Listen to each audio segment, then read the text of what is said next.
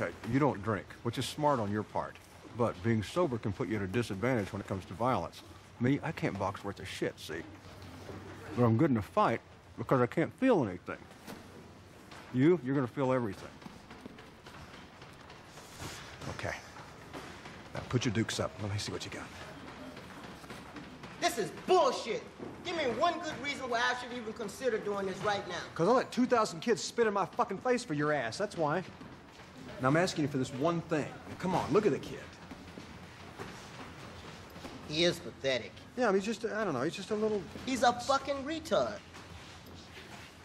Yeah, well, let's show him a couple of things so he can defend himself then. Unless you're scared. All right, then. Now, here's what's going to happen. All right, Marcus is a bully, right? He's going to pull your underwear up out of your pants. Now, what do you do? I don't know. God damn it, what do you mean you don't know? If somebody comes up and wants to pull your underwear up out of your fucking pants, you have to get mad. Yeah, kid, come on, get mad. Scream at him. Ah, ah. Jesus fucking Christ. Listen at him. He's a fucking faggot. Loud! Scream! Be loud! Be mean! Piss him off! Come on! Ah! Ooh. Ooh. You don't hit people in the balls, you asshole.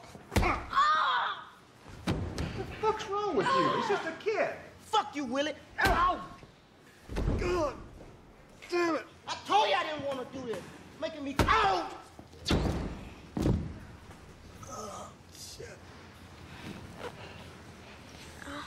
Kid, maybe you shouldn't spend so much time around me.